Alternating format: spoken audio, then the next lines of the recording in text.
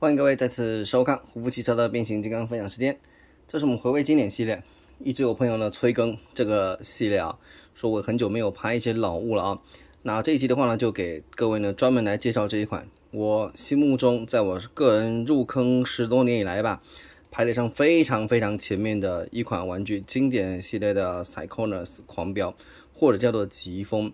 当年买这一款的话呢，完全是一个因缘际会的巧合。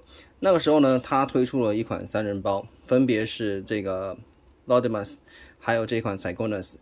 那当然，你现在也可以买到这两个人的双人包了。我当时买的是一个三人包，还有一个是谁呢？这个 Gava 总。当时我是为了得到 Gava 总去买这个这个组合包的。那对这个家伙呢，我完全是不期待。结果没有想到，它是三个里头呢，我个人最喜欢的。那这款这个 Haro 的话呢，就嗯就普普通通吧啊。但这一款绝对是非常经典的，在官方的话呢，我这十多年来吧，它还有推出 Combine Work 的 Voyage Class，还有最近 Kingdom 的话也有推出。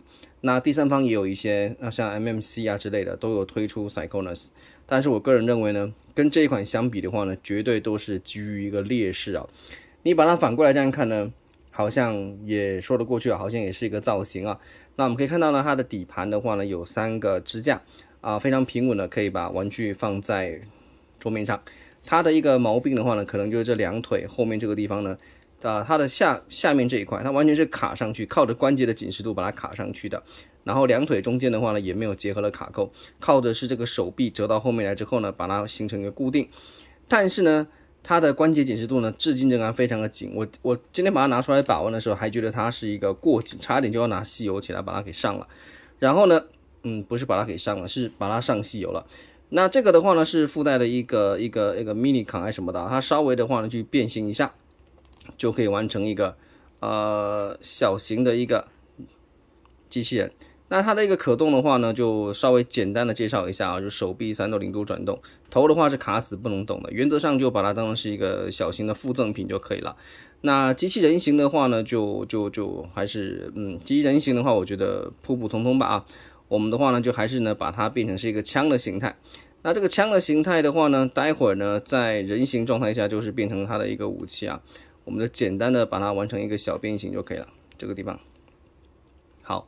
暂时就把它放到一旁去。我们来进行一下这一款非常精彩的 Cyclones 的一个变形。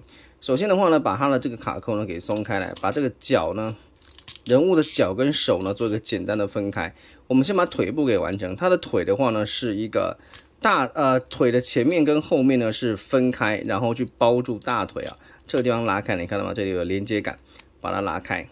另外一边也是一样，拿出来，然后两侧把它做一个简单的合并啊。我手上这一款呢，真的是到现在为止啊，它的紧实度还是非常非常的扎实哦，玩起来这个手感啊，完全不是现在的这个玩具可以去相提并论的啊，差的可远了啊。这个尽管这个 Kingdom 那一款非常的优秀，而且是 Voyage Class，但是真的跟这个家伙比起来还是有一个差距的。这个地方做一个简单的翻折，手臂扣上来，手放下来，然后呢，这个地方这个卡扣把它给松开。这个卡扣也给松开，两处的卡扣都给松开。松开之后呢，这个机翼啊反折到后面去，然后呢，手臂的话顺势的把它给拉出来，然后呢，手臂呢做一个简单的翻折。那么这一侧的手呢就算 OK 了。另外一侧的话呢，一样转上来，这里做个卡扣的结合，手臂正常翻折下来，然后呢，这个有个卡扣，把它给松开，这里，然后这个地方一样卡扣松开，反折。到后面去啊，那各位有没有发现我手上这一款？其实我是当年是有上墨线的，还有做一些简单的小补色。当时因为都看老肖的节目，他都会给玩具上上色嘛，所以我们会跟着照做。然后呢，这个后面这一块啊，把它给不对，这两个先打开好了，先把这个部分给打开。忘了这个地方，好，先打开。然后呢，这个飞机的这个这个尖头是一个软胶啊。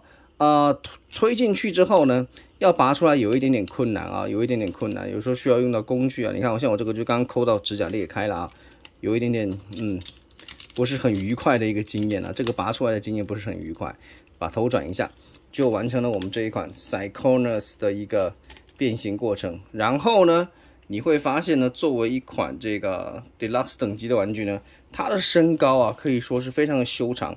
这是当年的一个 deluxe 等级，我们就拿出啊最近这个到了 Kingdom 系列的这个 deluxe 等级，可以看到这身高是增长了非常呃不对，应该是缩水了非常的多啊。我们差点把年代搞错了是哪一招？然后呢，它的这个武器。那你有发现到它的两手是做成不一样的一个造型？对，这一手的话呢是专门持武器的，那另外一侧因为它只有一支武器，所以另外一只手的话呢自动把洞补起来，我认为是完全可以的。当然，如果你觉得说你一定要弄这个只手拿武器也是可以，你翻折进来之后这里是有一个孔洞的，那你就可以怎么样呢？直接的把这个后面多了一个图，你可以把它直接扣在这里。如果你真的要实现换手拿武器的话呢？就只能够用这一招了啊，把它给扣上去。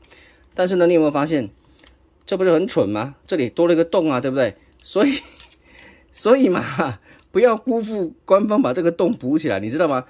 若干年后，官方拼命的拼了命的挖洞，你知道吗？现在他把洞补起来，你要偷笑了啊！几年以后你就知道，满满身上下都是洞那种感觉有多差了啊！那它的洞在哪呢？呃，在这个大腿的内侧还是有了啊。那以这个家伙的活动关节的话呢，除了腰不能动之外，全身几乎你想得到的关节都能够动。然后呢，眼眼部有一个非常好的一个透光性，这个红色的眼睛，手臂平举也没有问题，三六零度的转动。二头肌的话呢，不是在上面，是在偏下面。我当年做这个节目的时候呢，是说它没有二头肌，其实是有的，只是比较下面而已。拳头无法动，外摆那头是有的，这一点比较难得，没有这个脚的接地。但是你想想看，这是已经超过十几年以前的玩具了啊！